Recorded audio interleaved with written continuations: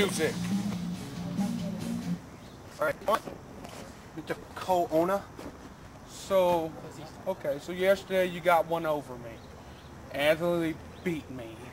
Woo! And so now you're the co-owner of my company. Anyway, see, today I like to extend a challenge to you.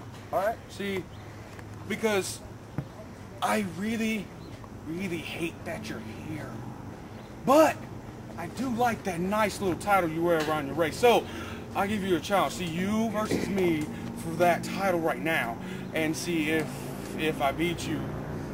Well, when I do beat you, I will be champion. But if I so happen to lose to you, see, I'll give you a total control. Do it! What the hell, Big Will? Well, Big Will, I've always wanted to say this, but I've always wanted to run your big black ass out of business. 어, 나, 와우.